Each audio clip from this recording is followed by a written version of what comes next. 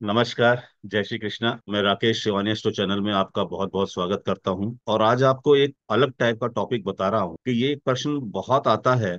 मैं भी जब पत्रिकाएँ देखता हूँ या नॉर्मली बाकी ज्योतिष भी जब पत्रिकाएँ देखते होंगे तो उनके मन में तो होता ही है, लेकिन जो पूछने वाले लोग होते हैं, उनके मन में भी एक प्रश्न बहुत आता है कि जो संतान है हमारे घर में, जो संतान होंगी वो लड़का होगी या लड़की ये बहुत पूछने में आता है। तो संतान पुत्र हो या पुत्री हो, वो कैसे मालूम? आज के जमाने में दोनों बिल्कुल बराबर हैं, पुत्र या पुत्री, जो हो जाए, वो समझिए कि भगवान का आशीर्वाद। तो पुत्र और पुत्री का योग क्या होता है कुंडली में? वो सिर्फ़ बताया गया है प्राचीन जमाने में शास्त्रों में। शास्त्रों में भी बृहद जातक के अंदर बताया गया है। वो योग मैं आपको बताता हूँ कि ग्रहों की पोजीशन अगर इस तरीके से बनी होगी तो आप कह सकते हैं कि आपके पुत्र होने की संभावना है या दूसरे तरीके से बनी होगी तो आप कह सकते हैं कि आपके पुत्री होने की संभावना। मैं आपको वो योग ग्रहों की पोजिशन दिखा देता हूँ। तो इसका बहुत ही सिंपल नियम है, लिंग निर्धारण का, कि कैसे हम लोग डिसाइड करें कि संतान पुत्र होगा या पुत्री हो इसमें श्लोक है बृहद जातक में, जो श्लोक ऊपर लिखा हुआ है। ये श्लोक में इसलिए लेकर आया हूँ कि ये कोई चीज़ बनाई भी नहीं है, या ना ही कोई प्रैक्टिस वाली चीज़ है ये चीज़ शास्त्रों में दी गई हुई और अथेंटिकेटेड है, जो भी शास्त्रों में हमारे दिया गया। इसमें कहते हैं कि यदि लगन, कुंडली में लगन हम जानते हैं, पहला भाव होता है, लगन सूर्य व चंद्रमा, लगन सूर्य, चंद्रमा व बृहस्पति, ये चार चीज़, ये ध्यान रखनी है। नंबर वन, लगन सूर्य, चंद्रमा और बृहस्पति। अगर ये चारों बलवान हैं और विषम राशि और विषम नवांश में, यानी डीवन चार्ट के अंदर तो विषम राशि में है विषम राशि कौन सी होती है? एक, तीन, पाँच, सात, नौ, ग्यारह। और सम राशि कौन सी होती है? दो, चार, छह, आठ, दस, बारह। ऑड और इवन हम जानते ही हैं, ये हम लोगों ने पढ़ाई है। तो लग्न सूर्य, चंद्रमा और बृहस्पति, अगर ये चारों बलवान होकर विषम राशि में बैठे हों और विषम नवांश में हो, यानी डी नाइन में जहाँ बैठे हैं, वो भी विषम राशि हो तो इस स्थिति में पुरुष का जन्म निश्चित रूप से होता है, पुत्र का जन्म होता है। इसी प्रकार अगर ये चारों ग्रह, लगन सूर्य, चंद्रमा व बृहस्पति, बलवान होकर सम राशि में और सम नवांश में बैठे हो तो स्त्री का जन्म होता है कन्या का जन्म होता है, ये बृहद जातक के अंदर बताया। दूसरा सिद्धांत ये भी बताया गया है कि केवल गुरु व सूर्य कहीं भी विषम राशि तथा विषम भाव में, यानी लगन से तीसरे, पांचवे, सातवें, नवे और ग्यारहवें, विषम भाव बोलेंगे उनको, जो ऑड भाव होते हैं हमारे। तो केवल गुरु व सूर्य भी कहीं भी विषम राशि में बैठे हों डीवन चार्ट में और लगन से तीसरे, पांचवे, सातवें, नवे, ग्यारहवें हों तो भी पुत्र का जन्म होता है। इसी प्रकार शुक्र व चंद्रमा एवं मंगल, ये तीनों कहीं भी बलवान होकर सम राशि या सम भाव में स्थित हो तो कन्या का जन्म निश्चित। तो ऐसा कहा गया है। अब ऐसा कहा गया है, इसका मतलब ये शास्त्रों में है तो उसके अंदर प्रमाणिकता तो है ही है, इसमें कोई डाउट वाली बात नहीं है। लेकिन अब आप ये कहेंगे कि साहब, हमने इतने कॉम्बिनेशन कॉम्बिनेशन बता दिए कि लग्न, सूर्य, चंद्रमा, बृहस्पति चारों बलवान होकर विषम राशि में हो, विषम नवांश में हो तो पुत्र होगा। तो क्या ये चारों चीज़ें सब मिल जाती है कि वो विषम राशि में भी हो और विषम नवांश में भी हो? तो ज़ाहिर है कि इतना मिलना तो मुश्किल होता है कुंडली के अंदर। लेकिन उस केस में हमको ये देखना चाहिए कि भाई चार में से तीन में मिल रहा है, नहीं मिल रहा, चार में से दो में मिल रहा है, नहीं मिल रहा। अगर चार में से तीन में भी मिल रहा है तो हम कह सकते हैं कि पुत्र होगा। मतलब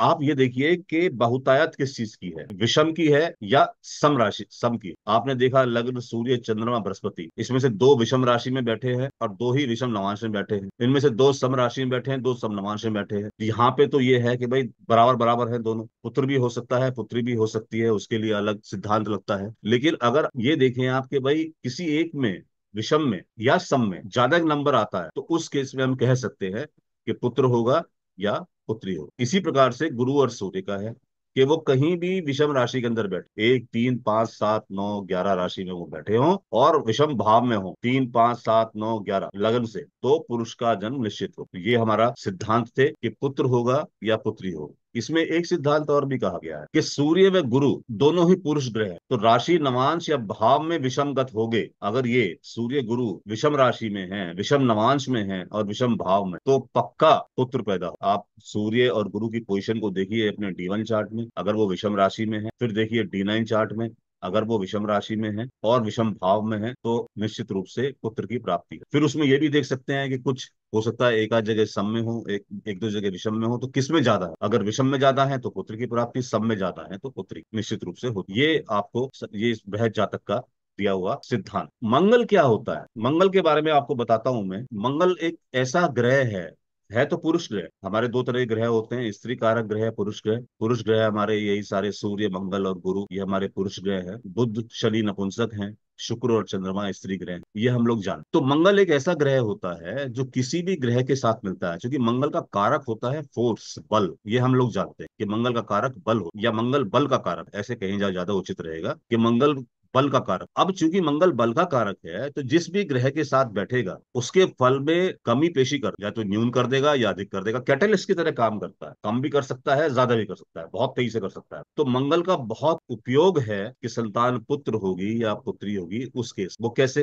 कि गुरु और सूर्य के साथ मंगल भी विषम भाव में हो। अगर गुरु और सूर्य विषम भाव में है, और मंगल भी विषम भाव में आ गया तो निश्चित रूप से संतान लड़का पैदा होगी। और गुरु व सूर्य अगर संभाव में, और अगर ये स्त्री ग्रह के साथ कौन कौन से स्त्री ग्रह हैं? चंद्रमा और शुक्र। उनके साथ ये संभाव में हो तो कन्या पैदा। ये आपको देखिए, गुरु व सूर्य जो दोनों पुरुष ग्रह हैं, अगर पुरुष ग्रह के साथ मंगल बैठा है विषम भाव में तो निश्चित रूप से संतान पुत्र पैदा होगी। अगर स्त्री ग्रह के साथ बैठा है चंद्र, मंगल संभाव में तो निश्चित रूप से संतान कन्या पद और फिर ये बार बार कहा जा रहा है कि सदैव निर्णय करते समय बहुलता को देखना ज़रूरी है कि कितने विषम है, कितने सम उनमें से अधिकांश ग्रह जिस स्थिति में हो, अगर विषम में हो तो पुत्र और सम में हो तो पुत्री का निर्णय करना ये एक कुंडली है, आप देख सकते हैं, इसमें गुरु बैठा हुआ है विषम राशि में, सूर्य बैठा हुआ है, तीन नंबर राशि में वो भी विषभ राशि है। मंगल बैठा है। मंगल को अगर आप चेक करें तो मंगल भी आपका पाँच नंबर राशि बैठा हुआ है दसवें भाव में, वो भी विषम राशि। लेकिन भाव सम है यहाँ पे। तीन राशि तो विषम है, लेकिन भाव जिन भाव में ये बैठा है, वो भाव क्या है? छठा है, आठवां है, दसवां है। ये सम भाव है, ये दो से डिवाइड हो। फिर आप नवांश में देखेंगे कि चंद्रमा मेष नवांश में, गुरु मकर के सातवें नवांश में, सूर्य मेष के सातवें नवांश में बैठा है। कहाँ बैठा है, ये चेक करेंगे। तो अगर सम ज़्यादा है तो आप बोलेंगे स्त्री, और विषम ज़्यादा है तो बोलेंगे पुरुष का जन्म इस केस में सम ज़्यादा आता है। नवांश भी चेक करते हैं और राशि भी चेक करते हैं। तो सम ज़्यादा आता है, जिसकी वजह से क्योंकि भाव भी सम है, राशि, नवांश में राशि चेक करते हैं, वो भी सम है। तो सम की क्वांटिटी ज़्यादा आती है, जिसकी वजह से इनको पुत्रियाँ प्राप्त हुई, केवल एक पुत्र प्राप्त। तो ये मोटा मोटा सिद्धांत है, जो कि बृहद जातक में बताया गया है, जिसको देख के आप एक बता सकते हैं कि भाई पुत्र हो सकता है या पुत्री के चांसेस हो सकते डिपेंड करता है इसके हालाँकि, ये तो डिपेंड बताता है ग्रह तो पर उसके बावजूद भी पुत्र होगा या पुत्री होगी, वो तो सब कुछ निर्णय बायोलॉजिकल होता है, लेकिन उसके बावजूद भी ये भी डिसाइड करती है कि दशा उस समय कौन सी चल रही है। जिस समय जिस समय कंसीव किया, उस समय कौन सी दशा चल रही है। अगर पुरुष कारक ग्रहों की दशा चल रही है और इस तरह की स्थिति है तो पुरुष संतान पुत्र निश्चित रूप से होगी और स्त्री कारक ग्रहों की दशा चल रही है और इस तरह की स्थिति है तो संतान निश्चित रूप से स्त्री, यानी कन्या पैदा तो आशा करता हूँ ये आपको समझ में आया होगा। समझ में आया तो कार्डली लाइक कीजिएगा सब्सक्राइब कीजिएगा शेयर कीजिएगा। इससे मोटिवेशन बढ़ता है। और इसके अलावा हम लोग अपनी क्लासेस स्टार्ट करने जा रहे हैं एडवांस एस्ट्रोलॉजी की। जो लोग भी इंटरेस्टेड हो, वो जल्दी से जल्द अपना दिए गए नंबर पर संपर्क करके रजिस्टर कर। धन्यवाद। जय श्री